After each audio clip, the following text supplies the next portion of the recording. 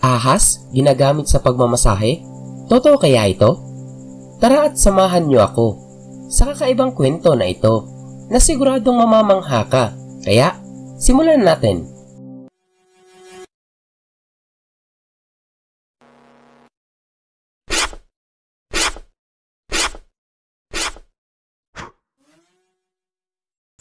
Ang bawat tao ay siguradong masisihan sa isang araw na pagpunta sa spa. Kung hindi ka pa nakasubok magpaspa, ay subukan mo rin minsan. Makinig sa nakaka-relax na musika, kumuha ng isang massage o isang facial at mag-relax. Mayroong isang health at beauty spa sa Israel na nagdaragdag ng kanilang sariling twist sa nakaka-relax na pagmamasahe. Ito ay isang bagong serbisyo na tinatawag na snake massage Oo, tama ang narinig mo. Isang snake massage. Ang gasto sa isang snake massage ay nagkakahalaga ng $80 o katumbas ng 4,000 pesos sa atin nakapareho lang din ang presyong babayaran mo sa ibang klasing masahe. Snake massage. Ibig sabihin, gagamit sila ng mga ahas sa pagmamasahe. Sa panahon ng masahe, ang mga malalaking ahas ay ilalagay nila sa buo mong katawan kung saan maaari silang mag-slide pataas at pababa sa iyong likod, galugod at maging sa iyong mukha. Ang mga species ng ahas na may posibilidad na gamitin kasama ang California at Florida king snake, corn snake at milk snake. Kung ikaw ay gustong magpahinga at hindi ka natatakot sa anumang mga ahas, sinasabi ng may-ari ng spa na si Ada Barak na maaari itong maging isang nakapapawi at nakaka-relax na karanasan. Pero parang nahirapan akong maniwala dahil sa kanilang laki.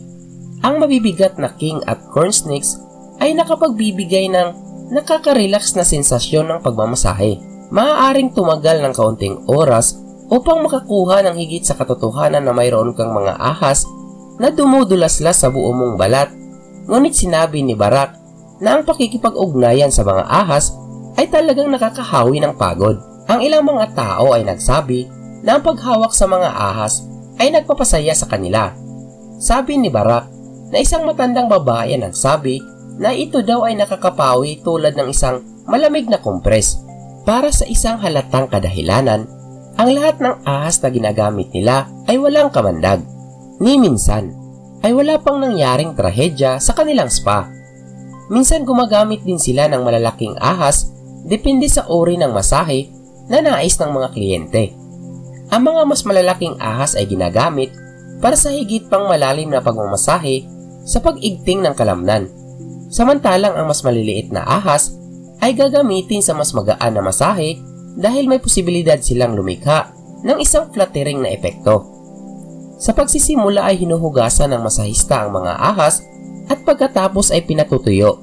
Kapag natuyo na sila, ilalagay nila ang mga ahas sa iyong likuran at pagkatapos ay magsisimula na ang pagpapadulas at gapangan.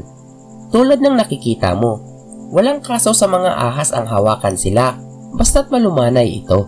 Mayroong ilang mga lokasyon sa Israel na umaabot na sa limitasyon na tinutulak nila ang pag-aalok ng mga masahe gamit ang malalaking mga ahas tulad ng mga python upang maiwasan ang mga ito na makakagat.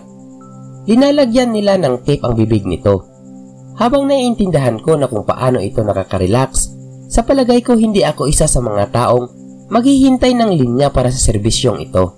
Sa totoo lang, hindi ko iniisip ang mga ahas.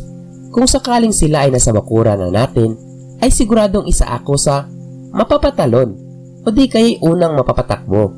Ngunit ang pakiramdam ng balat ng isang ahas sa aking hubad na likod, binti at mukha ay isang labis na karanasan para sa akin. Gusto mo bang sumubok sa isang snake massage? Pakishare naman sa ating comment section para aming malaman. Kung nagustuhan mo ang ating kwento, ay huwag mong kalimutang mag-subscribe para updated kayo kung may bago tayong video. Marami pong salamat sa panonood at shoutout po sa mga taong ito na walang sawang sumusuporta sa atin.